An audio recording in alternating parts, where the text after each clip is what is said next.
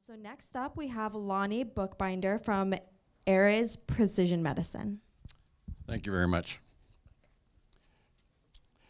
While my slides are coming up, I'd like to just thank the uh, Uli and all the people that he's uh, organized here in this meeting, and also Presume. Would you mind standing up? Uh, my name's uh, Lonnie Bookbinder. Uh, ARIZ Precision Medicine. Presume is one of my sponsors of the program and one of my sponsors here, and uh, runs the American Association for Precision Medicine. And we have a collaboration going in an innovation center. We invite any entrepreneurs to come visit us and talk about some of the technology we have available. Can you pull my slides up for me, please? Do I need to do it? Maybe it's this way? Par- Pardon me? Wait.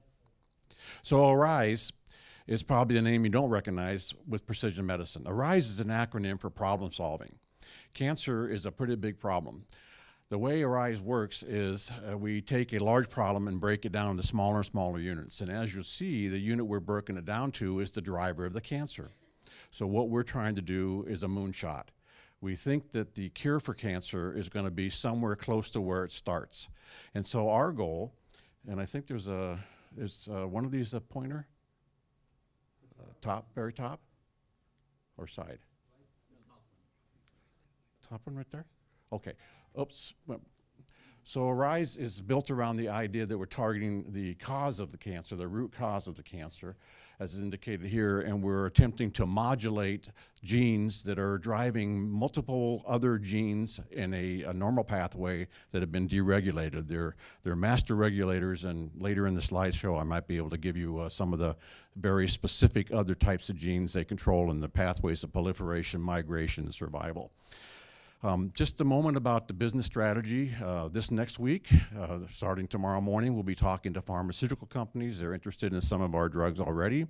Uh, my focus today will be on lung cancer, which seems to be uh, the most interesting to the pharma industry, and certainly as a lead candidate has a very large market opportunity associated with it. Can you all hear me okay? Yep. So here's a quick uh, synopsis of uh, our, our business and where we stand. Um, we're a, a, preclinical stage company. Uh, we're scaling up. We recently raised funds, as it shows at the very uh, bottom of the, of the slide, uh, in a seed round. Uh, we're using RNA interference. We're blocking messenger RNA from making an oncoprotein. And the oncoprotein is what's driving the cancer, and they're normally addicted to that. And in the early process, uh, we want to be able to find biomarkers. We have some defined already. I'll tell you about one lung cancer. Um, the biomarker signals the uh, cancer event has started, and hopefully we can cure the cancer by having an early start against the, uh, the cancer itself before it becomes so crazy and, and bizarre and hy. Um, just finally on this particular slide is we filed a PCT patent to, co to cover this particular uh, um, uh, application. Just a little bit about our lead candidate. Uh, you might notice PRDM2 siRNA is being used to overcome an uh, oncoprotein called RIZ2. Um, this is a drug that we can use for lung cancer, but also is involved in 50% of other cancers. Um, it's a, a, cell cycle regulator and controls many of the pathways related to cancer development. So what happens is um, somebody smokes a cigarette, a carcinogen then knocks down a very important slide, uh, uh, I'm sorry, very important protein and gene. And as a result of that, a second oncoprotein is activated. So it's a hypermethylation of the good protein, um, uh, promoter site on the gene, and it's a hypomethylation, which releases the secondary protein to be activated, which controls uh, proliferation, migration, survival, but has no brake on it, no tumor suppressor function. And we are recognize that in uh, about 70% uh, of uh, this is not getting there. 70% of non-small cell lung cancer, the hypermethylation phenomena occurs, and it, we can actually measure that in the sputum in a matter of three to four days after the first exposure to a cigarette. So we measure that, um, and as, as far as uh, what we can do from that point in time, there's going to be possibility of actually following that patient and the methylation status to see when we can actually detect the cancer and maybe treat it very early. So here's a little bit about our in vitro work and a little bit about some in vivo work. Uh, on the far left of the slides, um, you'll see that we did the study in lung cancer, A549 uh, cancer cells, and you see the blue um, is the uh, uh, uh, the cancer cell themselves. The red is the normal, and you see the next part of this. I don't know if I can get this to work or not. I may, may be tired. Um, but I'll point to the uh, second part of the slide there where the blue is down by 90%. That, that's one single dose, a 20 nanometer dose, a 20 uh, nanomo- nanomolar dose, uh, killed 90% of the cancer cells and had very little effect on the normal cells. And we compared this to cisplatin, which is one of the drugs used in lung cancer. And you can see that cisplatin has a therapeutic index of about one to one whereas in our case, it's about uh, eight, eight to one. So we think that will help carry the day in terms of reducing side effects as well as the high efficacy.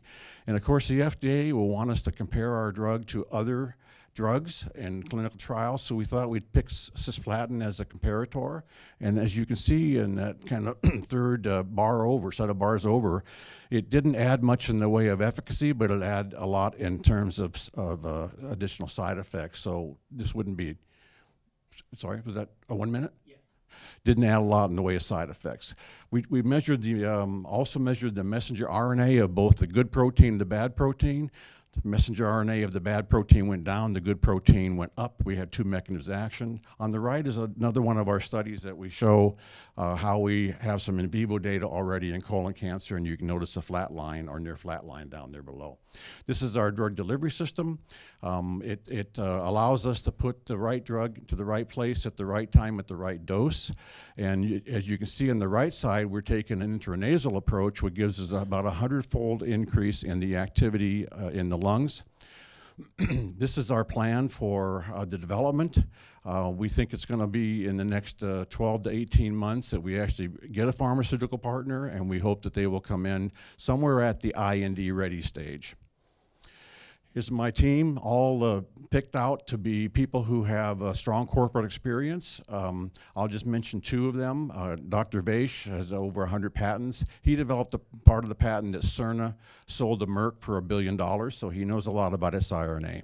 Our drug delivery system comes from Keystone Nano, and uh, one of my board members started that company. It's a 28 nanomolar a nanometer uh, uh, delivery system. Uh, it can be decorated in a variety of ways. We have a $2 million agreement with Sphera Pharma, uh, a million in equity and a million in cash to help us develop a whole variety of drugs, including the, the lung cancer first. Finally, just a little bit about the competition. Um, we have a novel mechanism action. Uh, RNAi won the Nobel Prize in 2006. We, th- we think it's going to be a really valuable product. It's now been approved by the FDA for several companies. High therapeutic index, but the biggest advantage we probably have is that the oncoprotein is only expressed in cancer cells. So should we go off target for one reason or another, it's looking for something that's not present, and the RNA will eventually just be dissolved. Um, this is a big, big platform. We have probably 25 to 30 cancer targets. We have targets in other areas, so any physician entrepreneurs or other types of entrepreneurs that wants to be involved in working with gene therapy and drug delivery systems, I would love to talk with you about uh, maybe helping us out develop some of our drugs. And I think that's the last slide I'm going to show you.